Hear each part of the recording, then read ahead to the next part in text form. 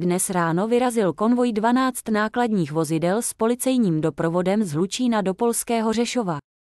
Součástí daru v hodnotě dosahující téměř 52 milionů korun jsou nejen tisíce kusů výstrojních součástí, jako například těžkých bot či pracovních kalhot, ale také dalekohledy a další materiál, který zvýší bezpečnost ukrajinských policistů ve službě.